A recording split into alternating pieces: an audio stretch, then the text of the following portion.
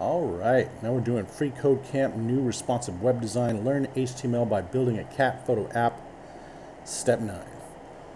All IMG elements should have an alt attribute. The alt attribute's text is used for screen readers to improve in accessibility and is displayed if the image fails to load. For example, IMG src equals cat JPG alt equals a cat has an alt attribute with the text a cat. Inside the IMG element, we're going to add an alt attribute within this text, excuse me, with this text, a cute orange cat lying on its back.